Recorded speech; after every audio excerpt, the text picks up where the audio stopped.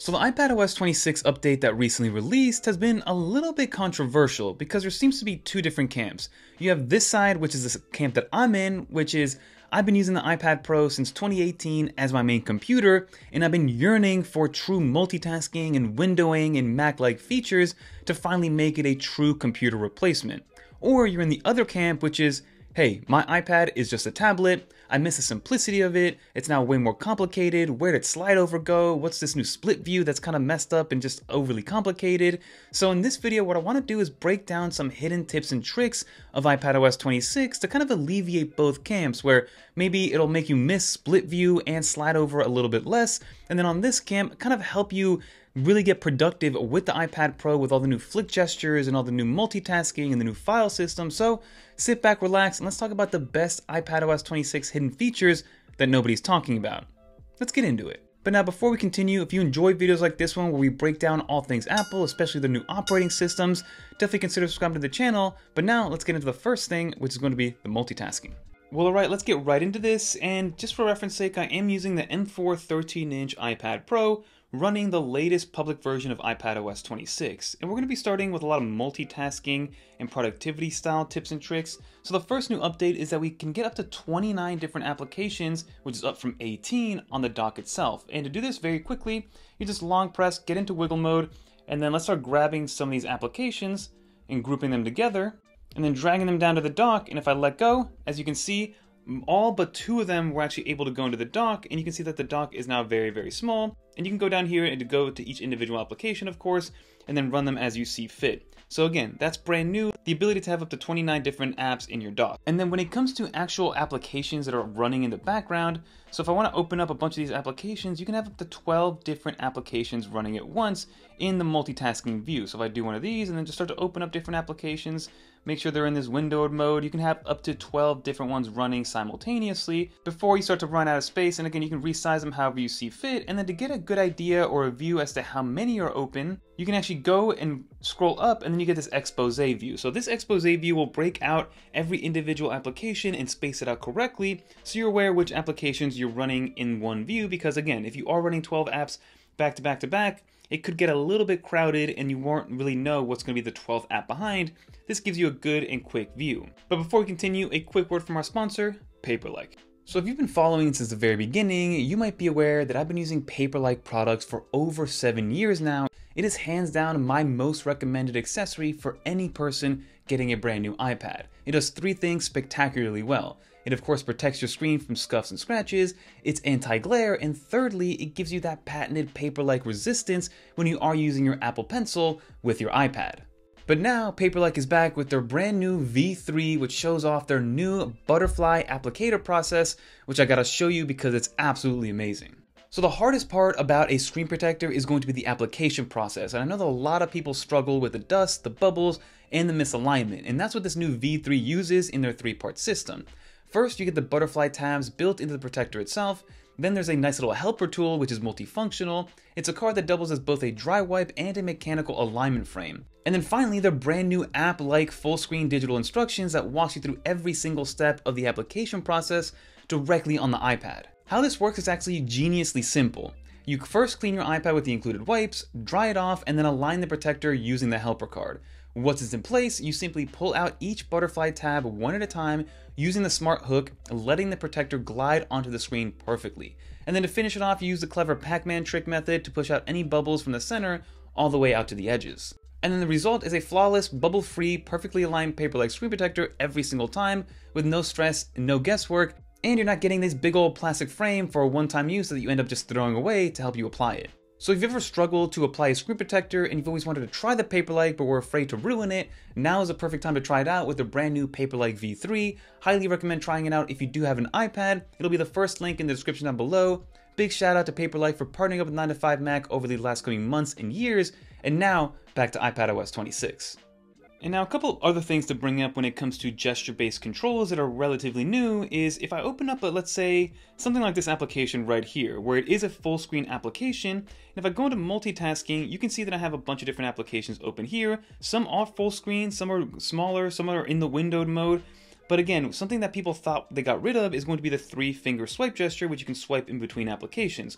It's still there, it's just a little bit different. So for instance, if I swipe to the left, I get the full screen app. If I keep swiping, another full screen app, another full screen app, more full screen apps, and then eventually it'll go into the windowed mode that I had before, which is all the applications that I had running before. So the windowed mode does work in terms of the three finger gesture, but if I say let's open something like this app right here and we open up maybe another windowed mode application, so the App Store, maybe something over here like the Files application, you can see that I have three apps running and I can swipe to the left, get back to my full screen, swipe to the right, get back to my multitasking view. So it still treats every single page as its own full screen situation, and the three finger swipe gesture allows you to go between either full screen applications or again your windowed mode applications. And then to continue on with the gesture-based controls, of course, if you do want to go into multitasking and do something like the side-by-side -side view, you can go to the green button and then go to split view to the left, to the right, above, below, even go into the quad box here as you can see, but something new is going to be these new flick gestures. So, for instance, if I go back, I can actually grab this right here and I can move it around with my finger and if I swipe up, it goes into a full screen mode. I can then grab it again. I can actually swipe it to the right. It'll go into a split screen mode. I can then grab it again Swipe to the other side, I'm now on the other side of it, and then lastly, if I do grab this one more time and swipe down, it actually minimizes the application completely. But another cool thing about this is if I open this one up, and let's say I want to open up another application here, so let's open up the Files app, you can see that it is already in the split view, and people are saying that split view is gone. It is absolutely not gone. As you can see right here, I still have this middle bar right here to move them back and forth if I want to, and even if I do grab this, let's say I grab this move it out of the way and make it smaller, you can see that, that that little middle bar goes away, but if I bring it even closer, it'll automatically bring it back even though it's not resized. So I can move this and then it'll kind of tie itself to that application, which is very cool. So if anything, I think the split view is actually a better version of split view that we had before. And if you want to make it simple, you just go over here, long press on the green enlargement button, and then press the split view.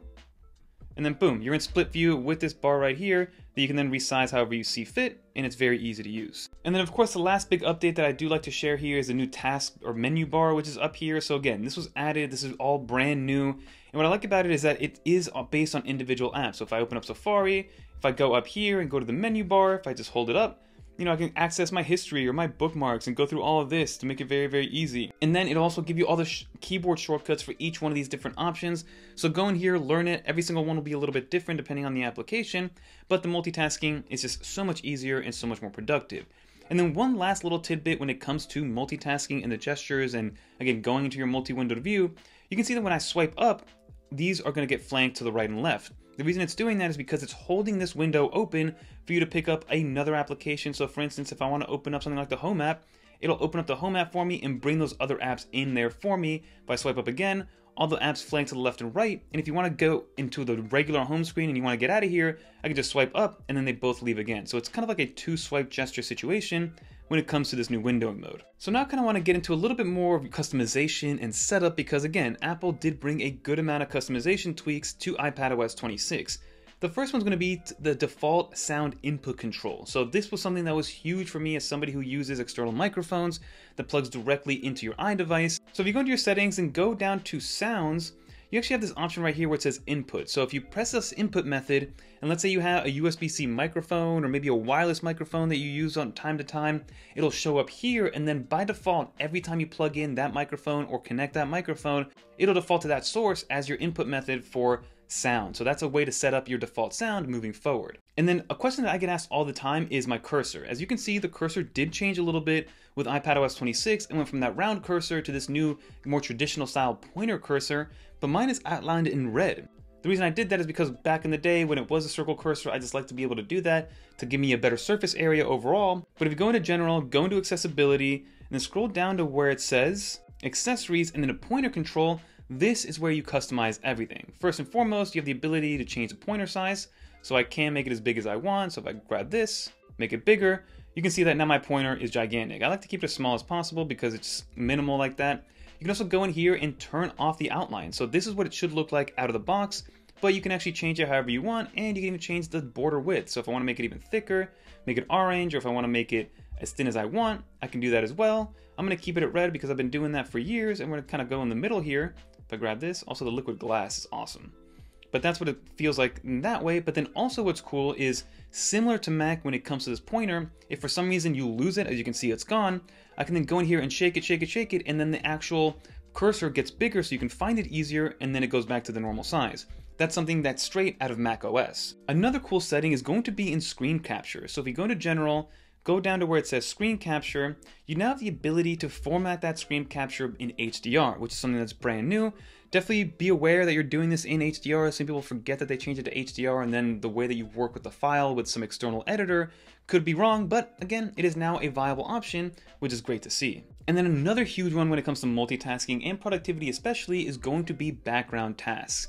So a big one for me was in LumaFusion. Whenever I would go into LumaFusion, and let's say I want to export this movie, we'll export it to the photos, we'll send it this way, and then you can see that it is exporting. If I were to leave this application previously, it would actually just quit out and then it would restart that export. Now, I can just resize it, move it to the background, and then do whatever I see fit. If I want to open up something like Safari, I can do that. So let's go to Safari, open that up, kind of mess around a little bit, go to YouTube, you know, go to Apple's website, and then I can just swipe up, go back to my LumaFusion, and you can see that it's still exporting the file normally. So all these background tasks will now work much easier and actually work as intended moving forward. I'm gonna cancel this because I don't need to actually have that. But again, it's good to know that background tasks, background downloads, background exporting, background renders are all now working in iPad OS. And then of course we have the Files application, which is something that did get a huge overhaul with iPadOS 26, making it a lot more Finder-like, but one of the best features is that you can actually set the default application whenever you are opening a certain file. So for instance, if I go on here, you can see that I can open with the preview app, and you can see that there's a little default underneath that preview app. Now to change that, you go to Get Info, then go down right here to where it says always open with, tap on here, and then you can have the option for this file to always open with the preview app, with LumaFusion, or with the Photos application, or the Affinity Photo application, which is something, again, that was exclusive to macOS, but now it's here with iPadOS, making it much easier.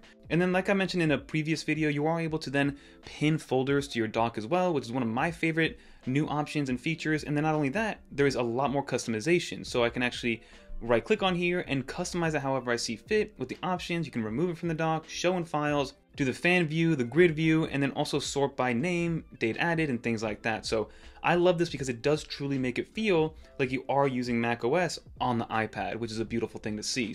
So those are just some of the features that I wanted to bring up that are a little bit hidden and that Apple didn't really mention in their keynote or mention in any of their paperwork, where it's a, lot easier to be productive on the iPad.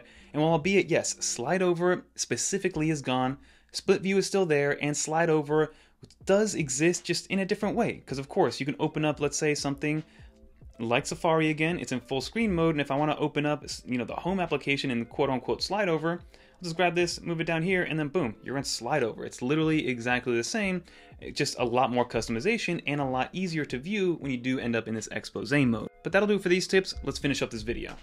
So that will just about do for this video everybody. I think the beauty of iPadOS 26 is that you can be in both camps and still run it the way that you want to. Yes, unfortunately, the exact version of slide over is gone for now with iPadOS 26. Maybe Apple will bring it back. I know a lot of people did like that form of multitasking, but I do think that people will get used to this new form of multitasking. You still have all your regular modes, whether it is just a normal full screen mode, this brand new multitasking, and even Stage Manager is stuck around. And there are ways and forms and functions to kind of get around the fact that slide over is gone, and split view is still here and it's even better and more enhanced. So hopefully this video kind of helped you kind of alleviate those issues or maybe again emphasize how much better the iPad gets with iPadOS 26 but leave a comment down below what your favorite feature is. Have you updated iPadOS 26? Are you staying strong and staying with iPadOS 18 until they bring back slide over? I know a lot of people have been doing that, or at least mentioning that they're doing that. So let me know in the comment down below what you think. If you did make it to the end of the video, leave a little dolphin. Big shout out to Paperlike for continuing to partnering up with 9 to 5 Mac and supporting the channel. And if you want to watch more videos like this one, especially some of our iPhone coverage, click on one of these right here. And until next time, I'm Fernando. Peace, everyone. I love iPadOS 26. It's the update that I've been wanting for years, and I know a lot of other people feel the same way.